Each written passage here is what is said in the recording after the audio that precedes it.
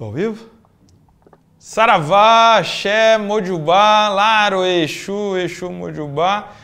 E o que Oxóssi, né? Hoje, nessa sexta-feira, dia 20 de janeiro, estou aqui para uma super extraordinária live, gravação também do nosso podcast, um Banda EAD, retomando a nossa nova temporada agora, então, nossa temporada 2023, e não podia ser diferente é, cruzar o assunto com dois grandes orixás. Exu, para abrir tudo os nossos caminhos, estar tá à frente da gente, poder ser reverenciado, abrindo esse nosso caminho da comunicação, e também Oxóssi, no dia de Oxóssi, que muito na Umbanda se comemora essa data em função do sincretismo, já sei que eu vou ser corrigido pelo meu convidado, que há aqui com São Sebastião, e a gente vai entender por que, que eu vou ser corrigido, que acho que você vai gostar muito de saber isso. Eu já falei hoje na live da manhã um pouco sobre isso e deixei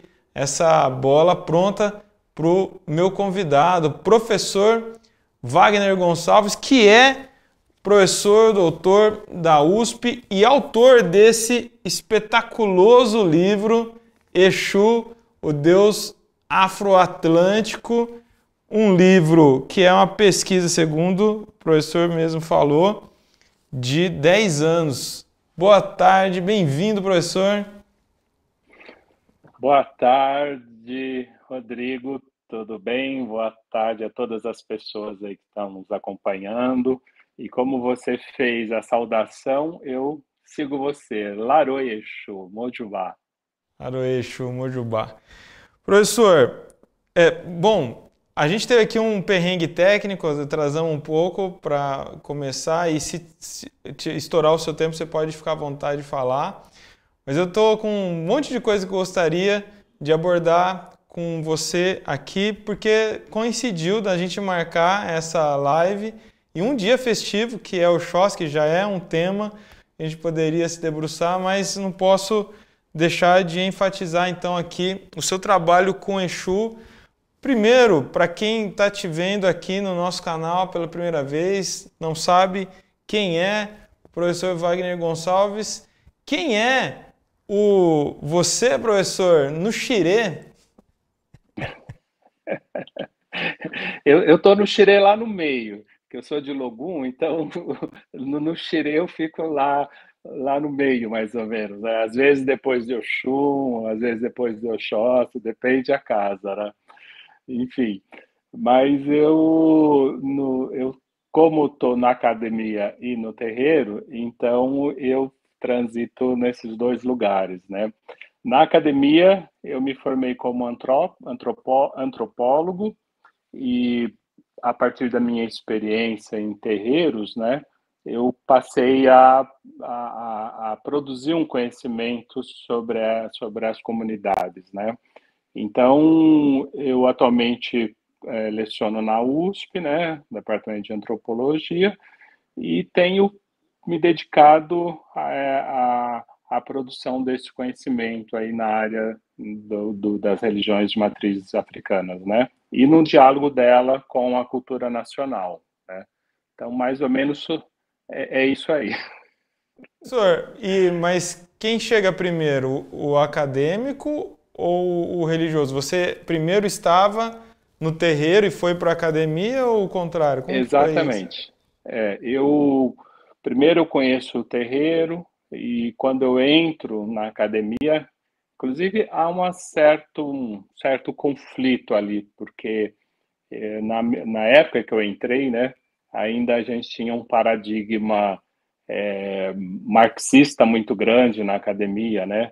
Então, as religiões não eram assim vistas exatamente como aliado político, né? Então, o terreiro, enfim, né? É, se a gente até lembrar um filme do, do Clauber Rocha, a gente vai ver que no Barra Vento ele tem uma postura em relação a isso, né? É, de dizer que muitas vezes as religiosidades afro-brasileiras elas não, não, não, não ajudam muito na luta política. Então, nos anos final dos anos 70, quando eu entrei na USP, era um pouco esse o clima que a gente ainda tinha, né? É, então eu eu tinha uma eu tinha uma frequência no terreiro, mas nem sabia ainda que isso poderia ser objeto de uma ciência, vamos dizer assim, né, como antropologia. Foi na academia, conhecendo autores como Roger Bastide, enfim, tantos outros, né, que eu comecei a perceber que havia uma, uma relação possível ali, né? Aí eu comecei então a me dedicar a, a uma especialização nessa área, né? Então eu fiz o meu mestrado é, pesquisando o Candomblé de São Paulo, aproveitando uma experiência que eu já tinha, né, no circuito dos terreiros. E depois eu uh, achei que seria interessante pesquisar a relação dos antropólogos com os, com os terreiros. Exatamente porque eu fiz o caminho contrário. Eu saí do terreiro e fui para a academia. E normalmente os antropólogos, vamos dizer, clássicos, né, eles fizeram o eles fizeram o caminho da academia para o terreiro. E aí eu achei curioso uh, a gente refletir sobre o nosso, a nossa posição, né, na, na construção desses conhecimentos. E por isso então que eh, o meu doutorado foi sobre uma reflexão do papel do antropólogo na produção, na construção de tradições, né, de, nos terreiros.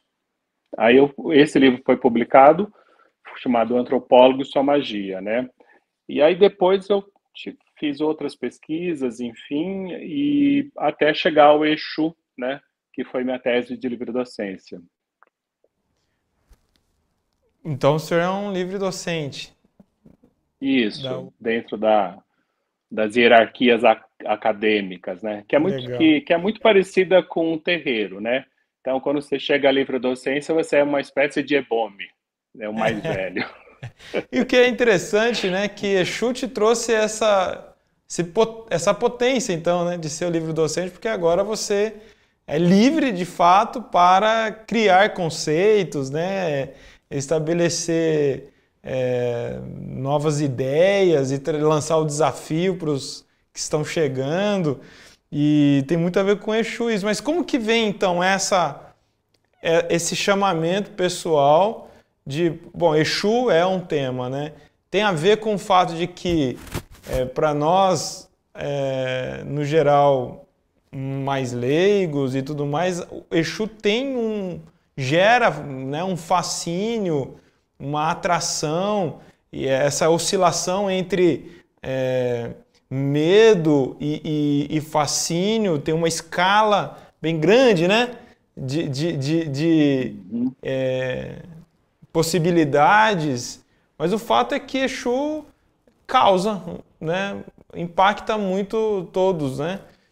E, e é isso uhum. que acontece com você, professor? Então, Exu também está ali orbitando a, a sua relação de fé também e te provoca um mergulho desse essa proporção de 10 anos, né, que você comentou de pesquisa, como que é isso? É, eu, eu digo assim, que não foi um, uma decisão é, tomada conscientemente, né? O que, o que aconteceu foi, a gente vai sendo levado pelos, pelos interesses, né, que tem muitas vezes a ver com a nossa prática de pesquisa, mas também com a nossa prática é, de militância, né? Então, por exemplo, eu não cheguei a Exu por ter uma, tomado uma decisão, ah, eu vou, vou é, mergulhar no estudo de Exu. Ah, o, o, o começo, vamos dizer assim, foi com o estudo de intolerância religiosa, né?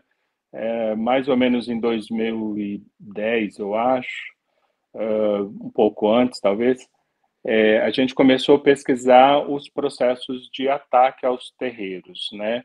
E aí organizei uma coletânea chamada Intolerância Religiosa, que até saiu pela, pela IDUSP, né? Esse trabalho aqui. E nesse trabalho a gente reuniu um conjunto de pesquisadores, né? É, para falar sobre esse processo.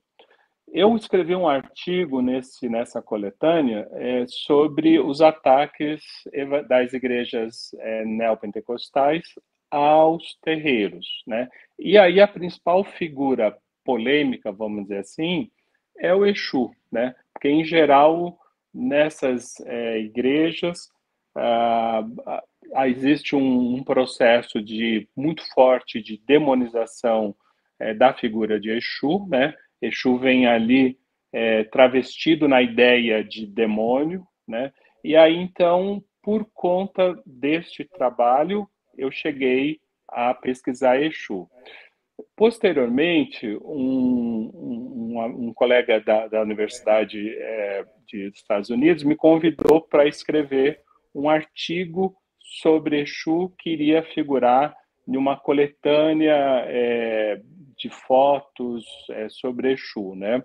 Então aí eu escrevi esse artigo, né?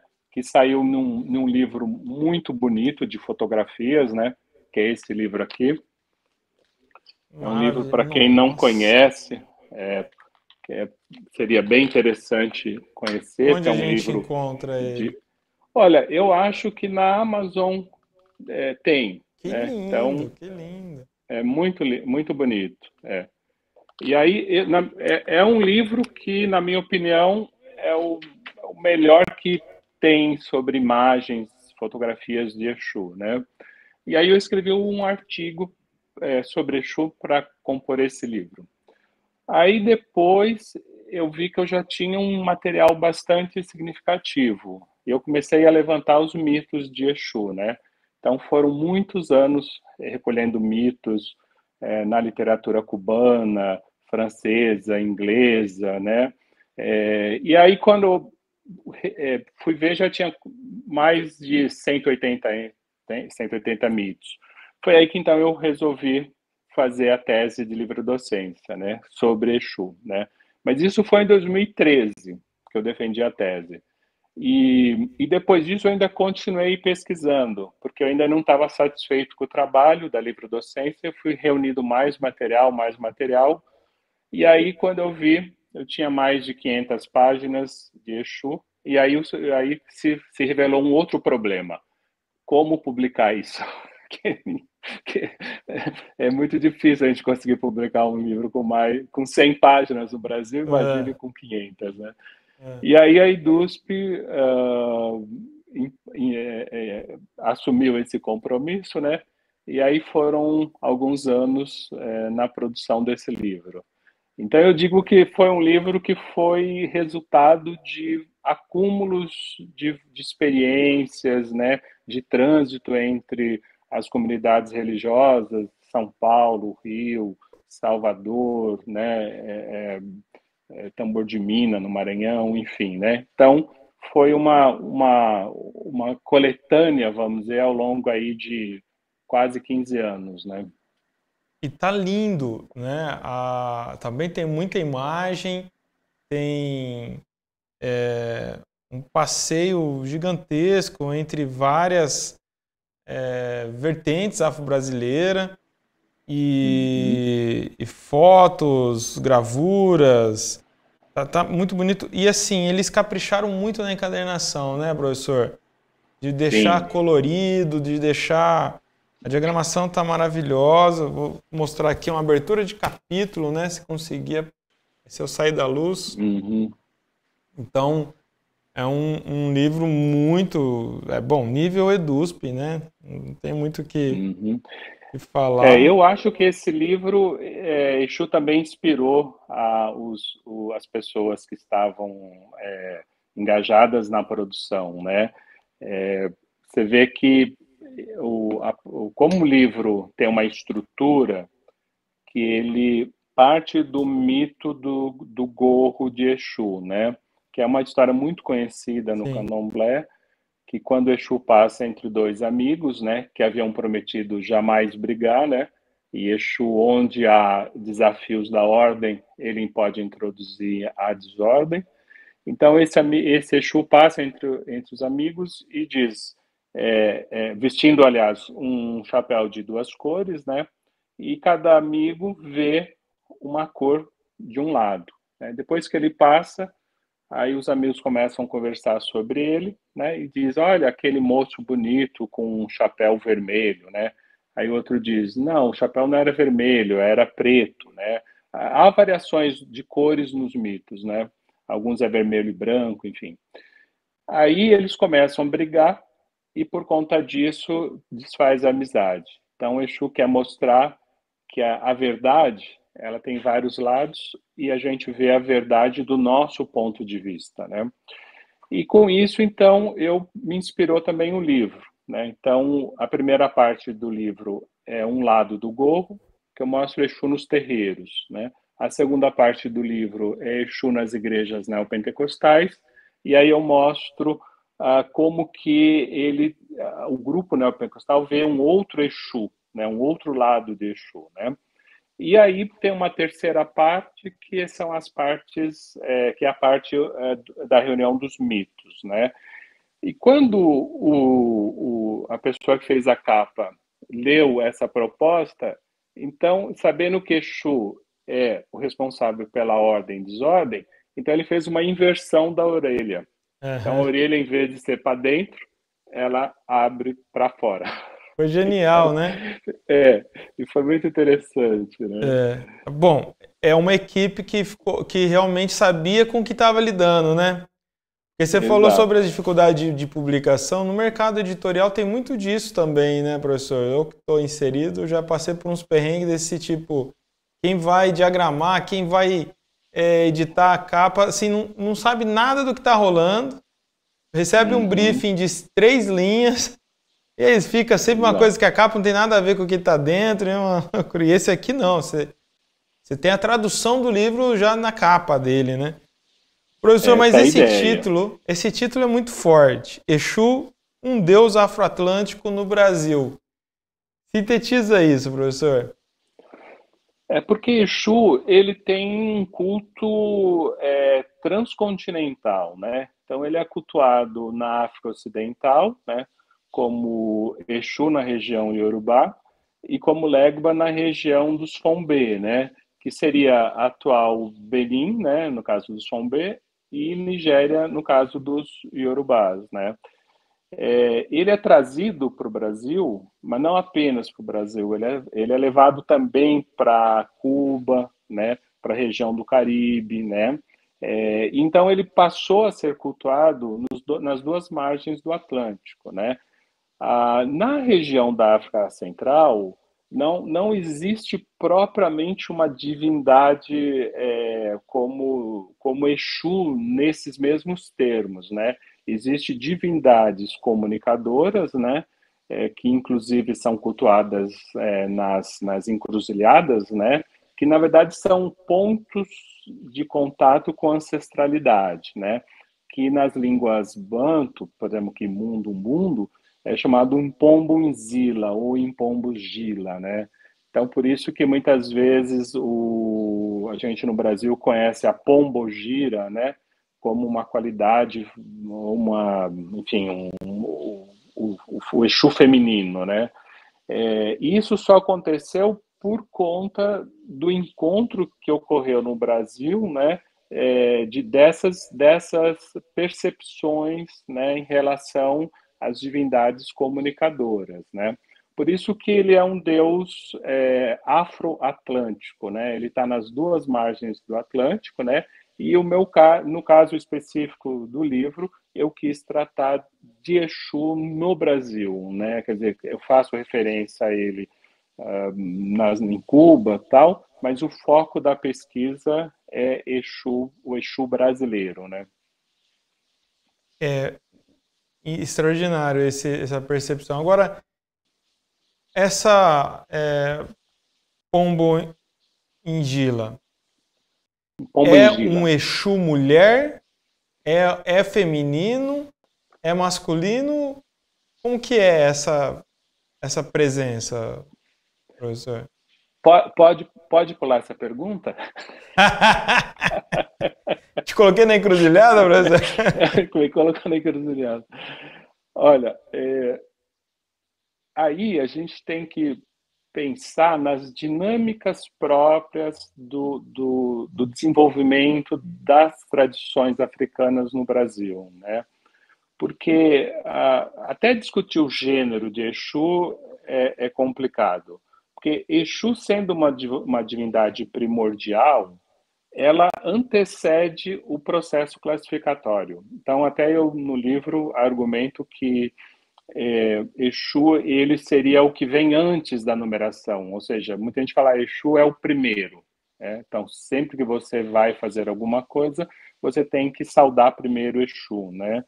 É, por quê? Porque ele é o comunicador, ele é o sacrifício do próprio sacrifício. Então, uh, nessa condição, ele não é, ele seria aquele que vem antes da classificação, né? Ele é o ponto de partida, né? Uh, ele seria quase que um signo zero, né? Nesse caso, ele não teria gênero, porque ele instaura o gênero. Né? Inclusive, há vários mitos em que Exu tem a função de instaurar o gênero no corpo do, dos homens, né? nos homens no sentido uh, da humanidade. Né? Então, é ele, por exemplo, que aloja a vagina no corpo das mulheres. Né? Então, nesse sentido, ele, inclusive nessa na, na, na estatuária, você vai ver que tem Exus com seios, Exu representado é, na forma feminina, né? Então, havia uma potencialidade de se entender Exu também nessa condição, né? É, e aí, certamente no Brasil, isso vai dar origem a uma divindade específica, né? Que é a Pombogira, né? Que está dentro dessa percepção do que é Exu, né?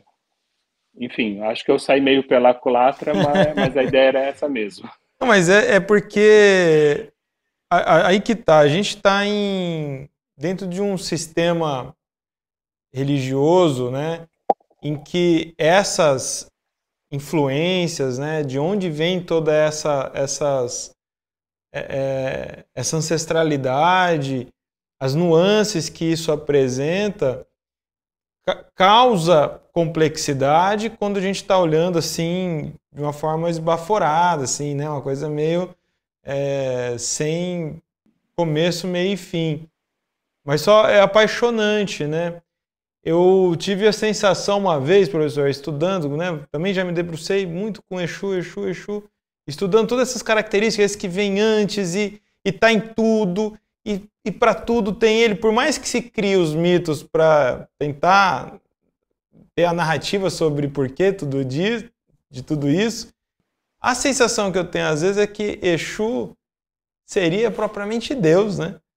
Ele é tão, ele é tão onipresente que parece a figura de, do próprio Olorum, Olodumare, presente na, na, na própria concepção. Percebe o que eu estou falando? É uma provocação isso. Sim. Seria é, Exu você... de fato? Não seria de fato Exu propriamente é, a ideia que a gente tem de Deus absoluto, né? Mas é só uma, uma ideia que eu estou jogando aqui, porque assim, uhum. ele é tão potente, tão presente, que está em tudo, o tempo todo, que vem antes, né? Então ele é onisciente, né? Tô fazendo esses paralelos assim. E eu acho que isso é muito curioso, inclusive, porque isso não vai se reproduzir com os demais orixás, né, professor? É, o... Essa magnitude de, de, é. de é, presença, né? Uhum. Ah, quando a gente fala nessa questão, vamos dizer, das comparações, né, a gente tem que ter assim, uma, uma certa ideia que a gente faz uma aproximação é, meio por, vamos dizer assim, por conteúdos das divindades que estão relacionadas a um sistema, né? Então, por isso que as comparações, elas são sempre aproximações, né? Uh, vamos dizer assim, uh, no sistema teológico iorubá, se a gente for pegar como exemplo, né? você tem duas grandes categorias de entidades, né? As entidades responsáveis pela criação do mundo e as entidades responsáveis pela, pela, é, pela guarda do que foi criado, né? É, Exu, ele não é... A primeira categoria é, são chamados orixás, né? Então, Exu, a, a, estrito senso, né? Quer dizer, o Batalá, é, Orumilá, todos são orixás, que eles estão associados, inclusive, a, a, ao branco, à roupa branca, aos elementos brancos, né? Uh, Exu, nesse sentido, ele seria ele não seria um ser da criação, mas também não seria apenas um guardião, né? É como eu disse, ele é um princípio anterior a isso. É, então, se a gente fosse comparar, talvez, com uma teologia judaico-cristã, eu diria que ele está muito mais próximo da, de uma ideia de Espírito Santo, por exemplo, né? Você tem o é um Deus, elo, né? né? É o elo, é, é o verbo, né? Então você tem o Deus e o Deus ele produz o mundo é, através da força do verbo, né?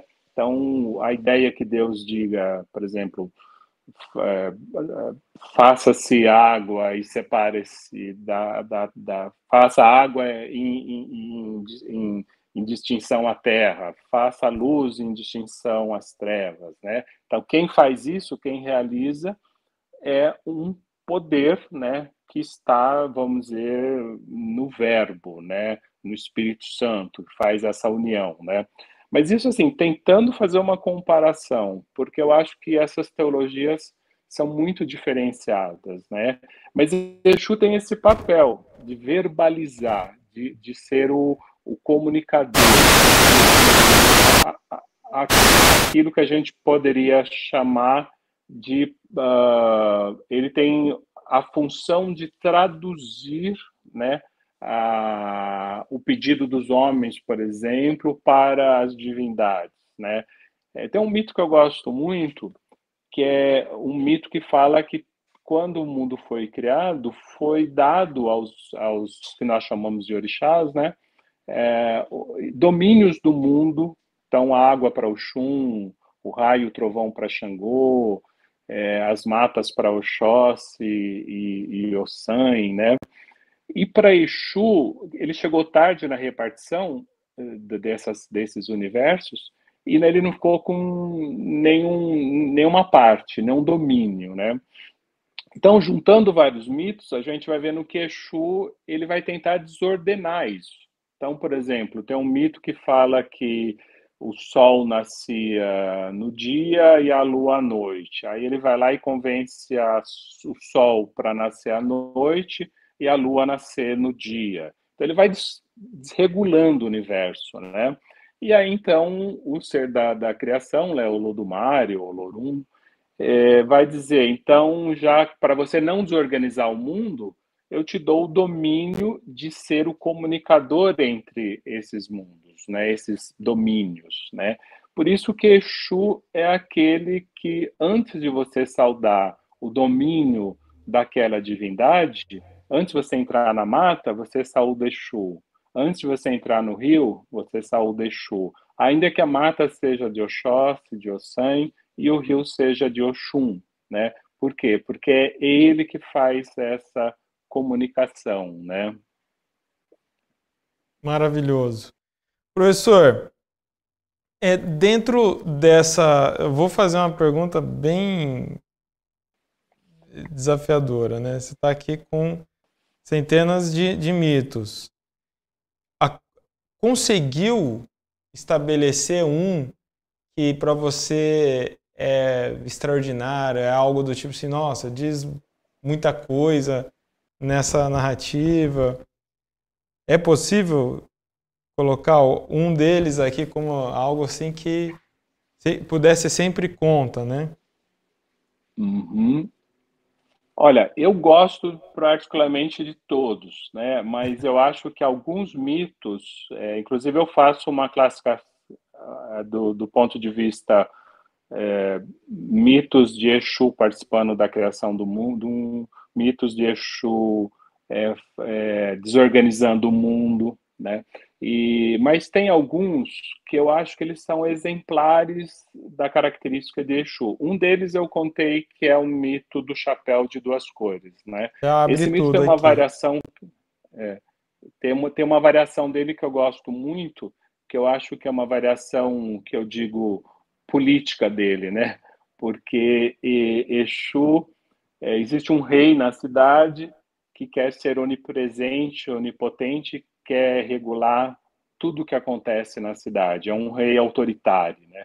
E aí então ele compra um bode de quatro olhos, né? Então cada olho olha numa direção, ou seja, ele consegue vigiar os quatro pontos cardeais, né? E aí então Exu é, faz o seguinte: ele quer desafiar esse poder do rei e ele então faz alguma coisa lá com a mulher do rei. E aí então o rei pergunta para o bode é, quem fez isso. Né? Só que Exu ele fez isso com um chapéu de quatro cores. Vocês vejam que é uma variação do mito do chapéu de duas cores, né? Então ele fez com quatro cores. E aí o bode, cada olho do bode viu uma pessoa, né?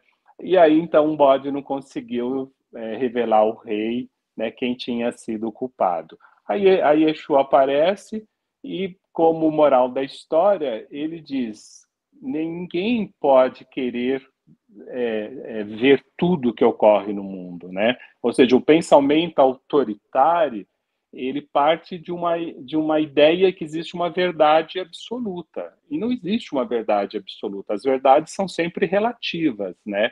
Então, eu acho que esse mito, que inclusive se aplica muito aos tempos contemporâneos, né? Quando as pessoas vivem verdades e, e acham que aquela verdade dela é a verdade que se aplica a todas as pessoas, né? Então, desse pensamento autoritário que nasce, por exemplo, com a, o racismo, a xenofobia, a homofobia, a transfobia, né? Enfim, é, várias é, é, é situações, né? É, que Exu nos ensina a tolerância, né? A tolerância no sentido de cada pessoa vive a sua verdade, mas se ela souber respeitar a verdade do outro, né, então ela está agindo exusescamente na vida, né? A metáfora da encruzilhada, onde mora Exu, eu acho que é muito é, é pedagógica, né? Porque a, na, nas encruzilhadas a gente encontra o outro, né? Quer dizer, quem nunca passa numa encruzilhada nunca tem oportunidade de refletir sobre o seu próprio caminho, né? Porque ao chegar numa encruzilhada, a gente tem que decidir se continua, se vai para a direita, se vai para a esquerda, se volta, né? Então, as encruzilhadas são o, o, o ponto onde a sociedade surge. Toda sociedade surge de uma encruzilhada, né? Ou seja, uma encruzilhada de encontro, né? De, de troca, né? E Exu é esse ser né, que nos ensina o valor das encruzilhadas. Né? Claro, Exu. Exu é, ganhou uma notoriedade tão grande né, nesse último ano, que um ano em que a gente estava. É, continuamos ainda politicamente com tanta é, polarização e, e violência e, e, construção de ódio.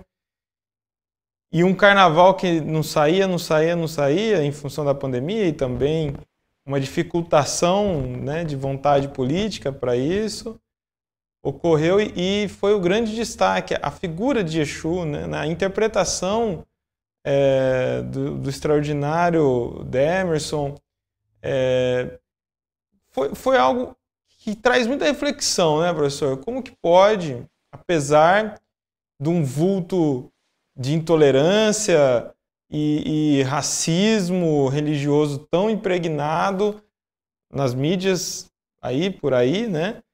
E aí vai lá pro, pro, pro sambódromo e Exu brilha de um jeito.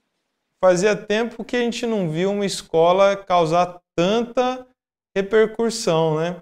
Como você viu esse fenômeno nesse contexto social, político que a gente estava ali naquele momento? Olha, foi um verdadeiro ebó, né? Um, uma verdadeira, um verdadeiro exorcismo, né? É, é, a presença de Exu, né? Na, na, na, escola vencedora. A gente já havia acompanhando algumas, alguns anos, né? A presença da, das religiosidades afro-brasileiras nas escolas de samba, né? Porque, na verdade, a escola de samba surge do terreiro, né? É, assim como os afoxés, os maracatus, né, o jongo, todos, todos são, são, são é, manifestações, né, é uma cultura negra que foi elaborada no terreiro, né? Porque uma coisa é importante dizer, o, o terreiro ele não é apenas um espaço religioso, né? Ele é um espaço é, multissemântico, né? Ele tem uma pluralidade de sentidos, né? Então, o terreiro, por exemplo, ele foi o espaço onde as comunidades negras, né, é, construíram uma versão do Brasil, né? É, antes até do Brasil ser pensado como Brasil, como uma república, enfim, como uma sociedade civil, o terreiro ele já tinha que pensar isso, né? Ele tinha que pensar como reunir pessoas de diferentes etnias, pessoas de diferentes é, estratos sociais, né?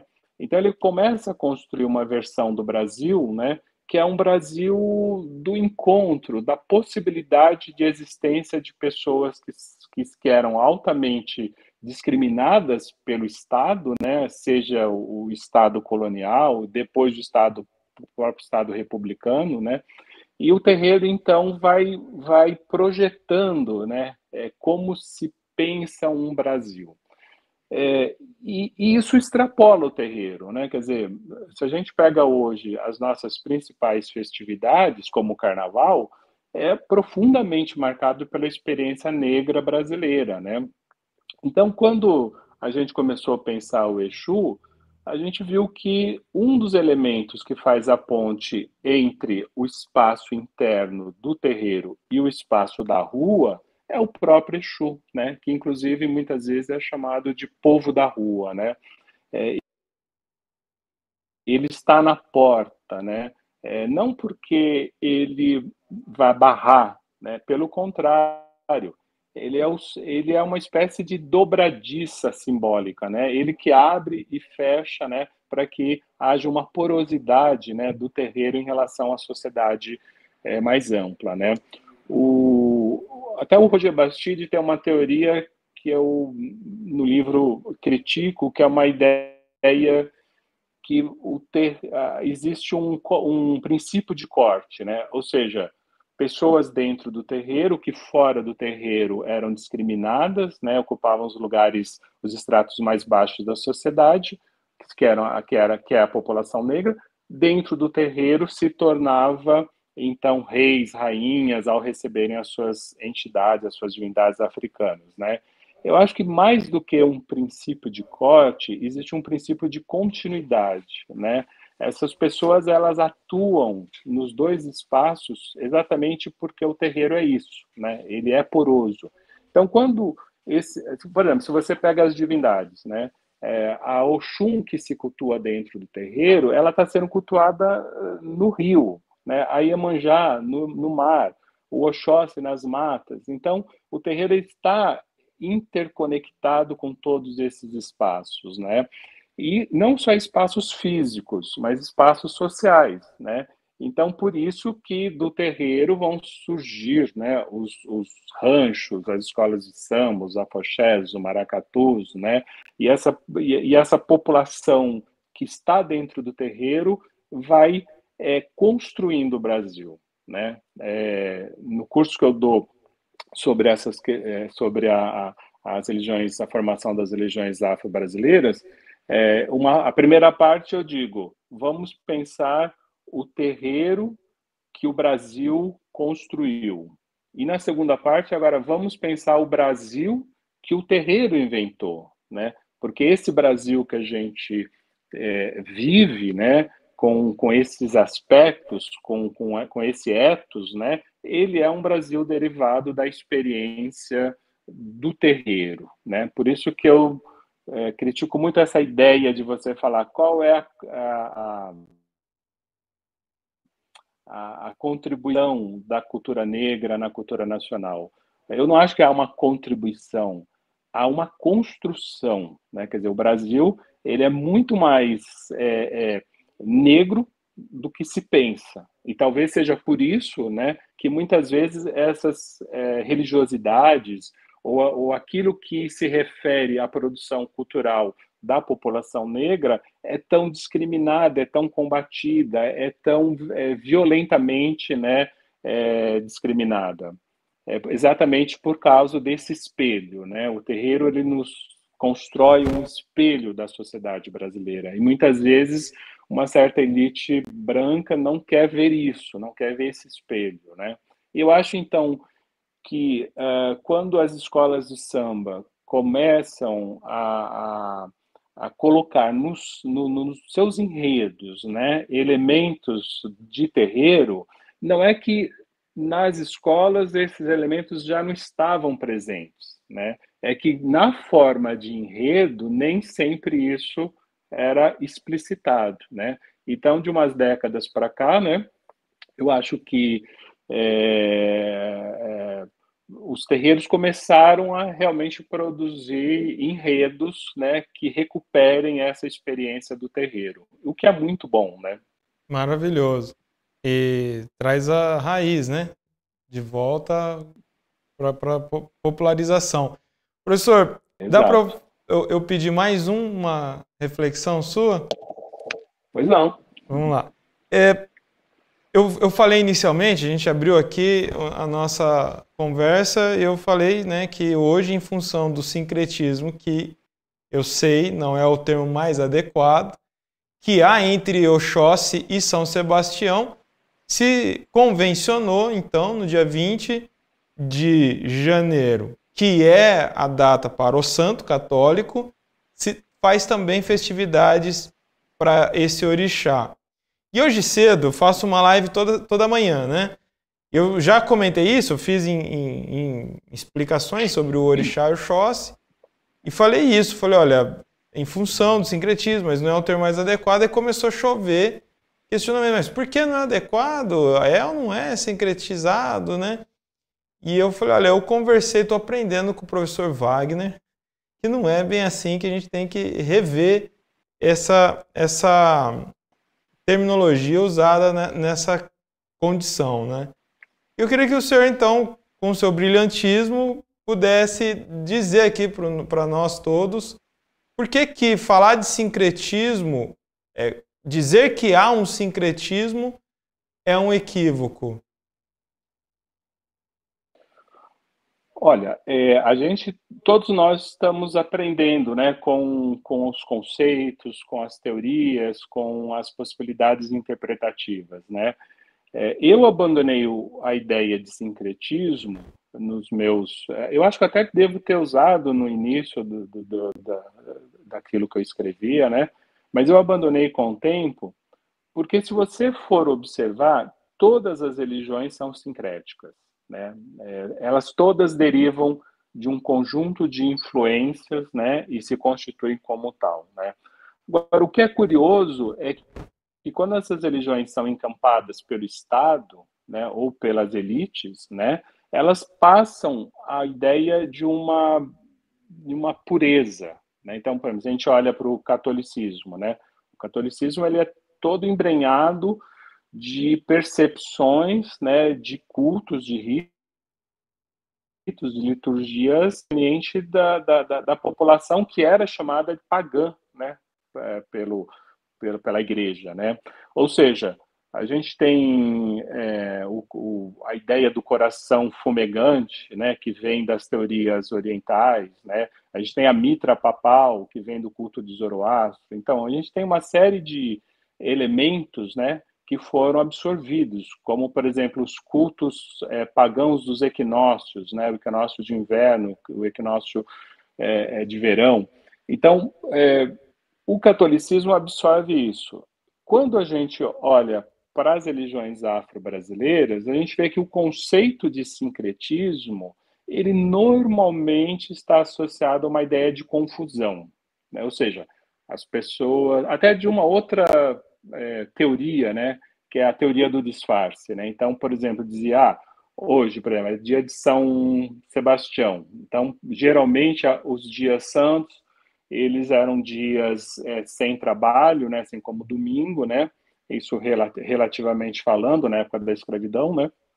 E então havia a possibilidade, muitas vezes, das comunidades africanas de fazer algum culto, né? Então, na teoria do disfarce, que é muito próxima da teoria do sincretismo, se dizia assim, ah, estava se cultuando é, Oxóssi, por exemplo, mas se dizia que era São Sebastião, né? É, eu acho que se fosse assim, apenas assim, né, a gente já teria se deslizado há muito tempo, né? O fato é que as religiões elas se aproximam, mas não se confundem, né? É, eu nunca vi, ao longo das, das décadas que eu tenho de, de experiência em terreiro, alguém se iniciar para, por exemplo, São Sebastião, né? Eu já vi pessoas se iniciadas para Oxóssi. Ah, mas então não tem lá uma, uma imagem de São Sebastião? Sim, mas o, o, o, foco do culto não está em São Sebastião, está em Oxóssi. Então, a ideia é que é, São Sebastião é uma forma didática que muitas vezes os africanos encontraram de dizer para o outro o que, que mais ou menos era aquele conteúdo dentro da sua relação, né? Ou seja, aquela ideia de que uma coisa está para outra, assim como outra está para uma terceira, uma quarta, uma. Então vamos dizer assim, uh, você está dizendo, ah, Oxóssi é São Sebastião, mas se eu vou na Bahia, Oxóssi é, pode ser São Jorge. Então, se o sincretismo é uma lógica que prende, ele não deveria ter essa variação. Então, a gente tem que entender a variação. Por que, que na Bahia São Jorge é Oxóssi? Porque a ideia que, Ox... que São, São Jorge caça o, o, o... Desculpa, por que, que na Bahia é isso? Isso mesmo. São, é, Oxóssi é São Jorge, porque São Jorge caça o dragão, né? E, ou seja, é, se você imagina que Oxóssi, é, São, a gente tem São Jorge e, e, e, São Sebastião, né? Se você imagina que São Jorge caça o dragão, ele pode ser Oxóssi. Mas se você imagina que São Jorge guerreia contra o dragão, ele pode ser Ogum. Se você vai em Cuba, Xangô está associado com Santa Bárbara. Ah. Por quê? Porque Santa Bárbara é raio e Xangô é raio. Ó, veja, aí até mudou o gênero Já, é. de Xangô, né?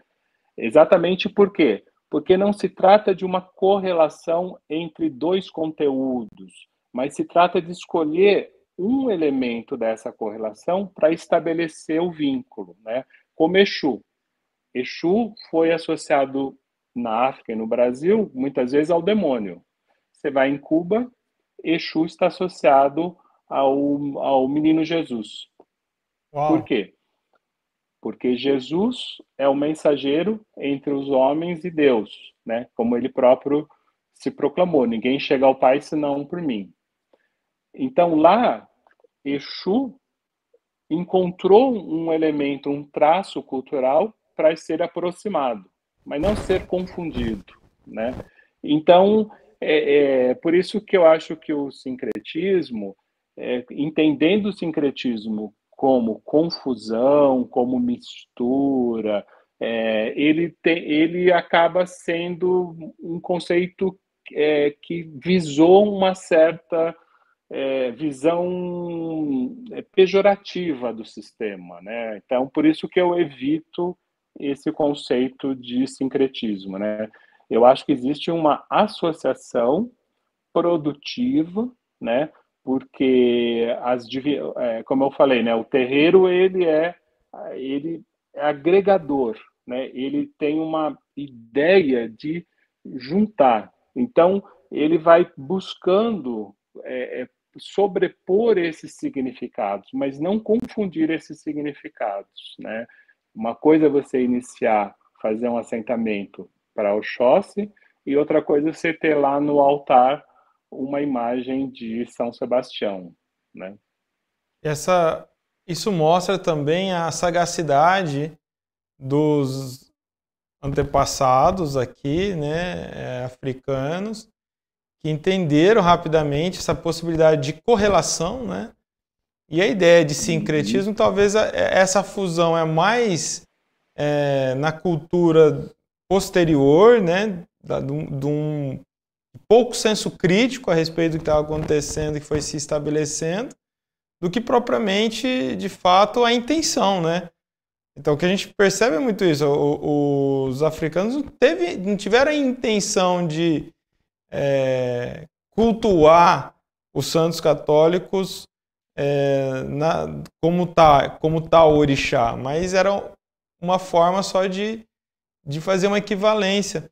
Assim como acontece em África, ou aqui nós estudando as culturas religiosas africanas, quando vão falar dos deuses yorubás, é, Angola e, e, e os Jeje, por exemplo, não são as mesmas coisas, né, professor? São equivalentes. A gente pode fazer com muita, muito cuidado uma comparação, mas não, não dá para dizer que seja o mesmo, né? Faz sentido isso?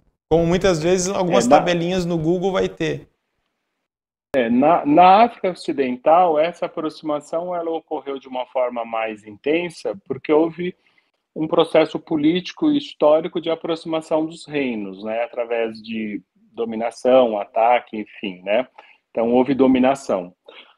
Porém, é, esse aspecto também a gente tem que lembrar que uh, não há uma exclusão da divindade é, do vencido, há uma incorporação no seu próprio sistema. Por isso que a gente fala de um sistema Gejinago, né?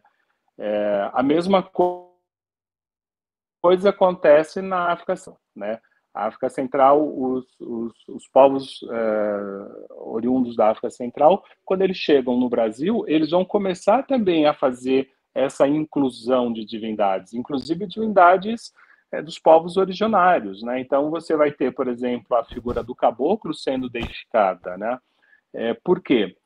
É, faz parte de uma ideia de uma religião inclusiva, né? É por isso que eu digo, quando a gente fala da associação entre santo e orixá, ou enquice, ou vodum, a, a forma como essa associação está sendo feita é no sentido de pensar que aquele ser que está sendo chamado de santo, por exemplo, Santo Antônio, São Jorge, é, é, São Sebastião, ele poderia ser um filho daquele orixá. Ou seja, São Sebastião poderia ser um filho de Oxóssi, né? É, e por aí vai. É, São Jorge, à medida que ele guerreia com uma lança, ele pode ser um filho de Ogum, né? Então, é, a ideia é que você está incluindo divindades, né? E de uma certa maneira, e aí que eu acho que tem uma potencialidade da filosofia, das filosofias africanas, né? Que elas não são nesse sentido autoritárias, elas não são exclusivas, né? Elas são inclusivas, né? É, um exemplo histórico muito conhecido é quando os portugueses chegam na região da África Central, né? e, e, e chegam catequizando né, a, a, as comunidades, né, muitas dessas comunidades se tornam católicas. Um exemplo é a Rainha Zinga, né? Ela se torna católica. Agora, é preciso entender qual é o significado desse catolicismo, né? Não é um catolicismo da mesma lógica do colonizador, né? Assim como o catolicismo brasileiro, negro brasileiro. Então você vai na Irmandade da Boa Morte, por exemplo, na região do Recôncavo, né? Aquelas senhoras são mulheres de terreiro que estão fazendo ali um culto católico a princípio, né? Mas que tem uma profunda relação com, por exemplo, a liturgia de terreiro, né? Uma, uma espécie de uma associação, né? E aí eu acho que chega num ponto importante, né? que é restituir de forma interpretativa né, a agência que os africanos tiveram sobre a sua própria história. Ou seja, em geral, os, os estudos que privilegiam o processo da escravidão, né, coloca essa agência africana como sempre uma passividade, né? Ou seja, ele foi catequizado e mal catequizado, né? Como uh, há muitos estudos que falam falavam sobre isso no século XIX, né? E não compreende como que eles estão vendo o mundo a partir de sua lógica, né? Por exemplo, a cruz. O significado da cruz para os povos banto, ela, ela representa o encontro dos mundos, né? O mundo é, dos, dos vivos e o mundo dos ancestrais, né? Que está abaixo da calunga, né? Então, os quatro momentos do Sol, por exemplo, né? Eles formam uma cruz, né? Então, quando o, o, o colonizador português chega levando a cruz como um símbolo é, do poder do sagrado, esses bantos já sabiam que as, as, a, os pontos em cruz, né, as, por exemplo, os pombangilas, né, eles eram profundamente importantes porque eles nos levavam aos antepassados, né? Então era muito comum, inclusive, que os xinguilas, os, os, os, os, ingangas, né, juravam sob um, um, uma cruz feita com pemba, né, que é o que é o pó branco, né, é, para che chegar ao mundo dos seus ancestrais. Então, nada mais é, familiar ao povo banto do que eles jurarem pela cruz. Né? Então, quando colonizador chega lá e fala jure pela cruz, ele está jurando. Agora, o problema é saber qual é a cruz que ele está tá jurando. Né? Assim como Maravilhoso. Hoje, né? Professor, bom, quero te agradecer imensamente a oportunidade, né? Sexta-feira tão especial e ter você aqui com a sua obra Exu, o Deus Afroatlântico.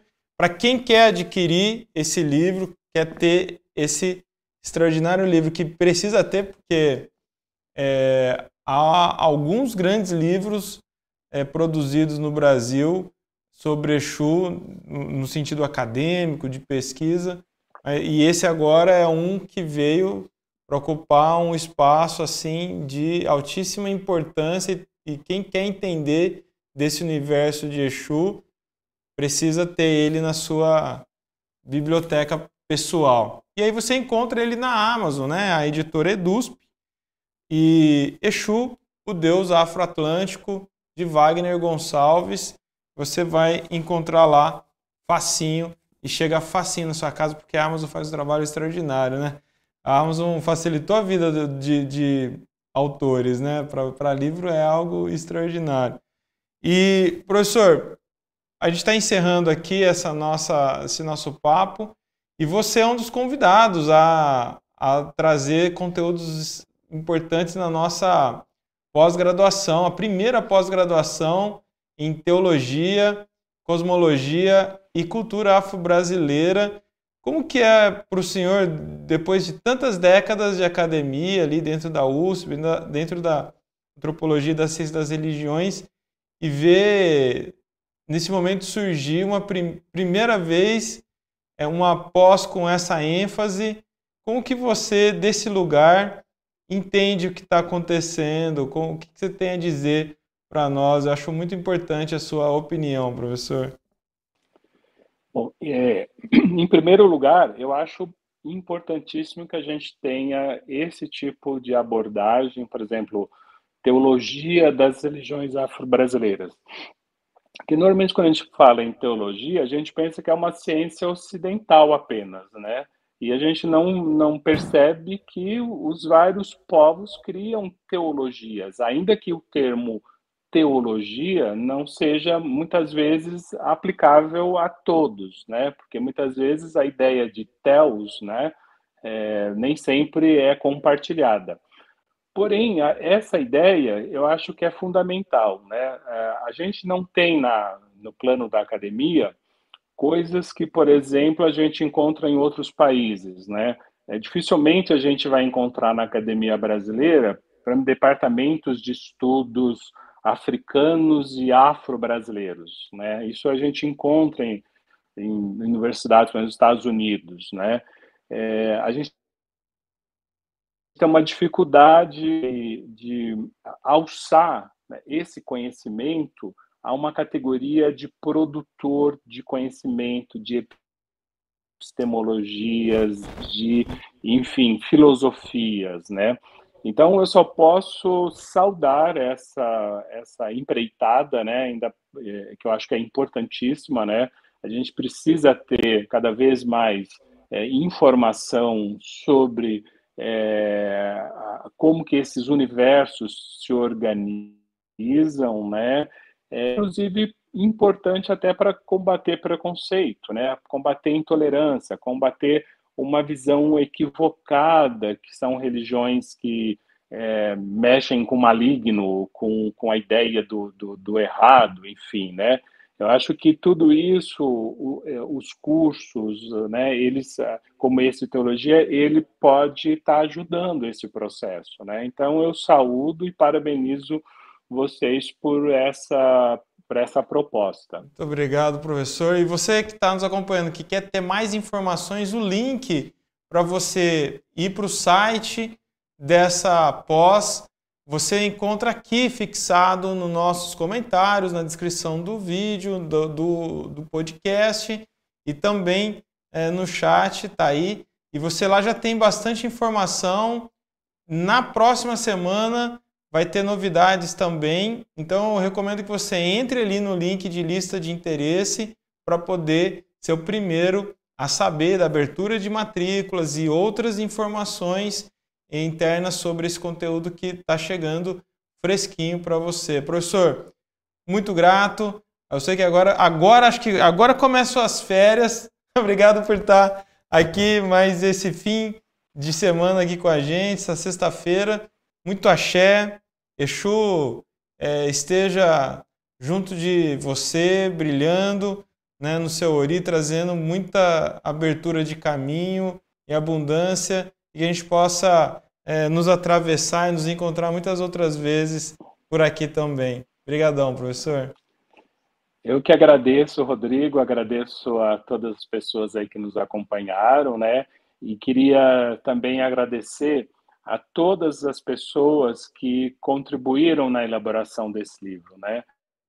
É, embora eu seja a pessoa que assina né, o livro, ele é fruto de um processo coletivo de produção de conhecimento, né? E eu faço muita questão de dizer isso, né? Que ele é fruto de um, de um conjunto de pessoas, né? Que compartilharam conhecimento, né? que, que essa é a ideia, né? Quer dizer, eu acho que o terreiro é um dos poucos lugares, né, que a gente vê essa possibilidade, né, desse desse compartilhamento de, de ensinamentos, né? Então, por isso que eu agradeço a todos que contribuíram aí na elaboração desse projeto. Obrigado, Axé. professor. Axé, Saravá. E até nosso próximo episódio, nossa próxima edição aqui do nosso podcast.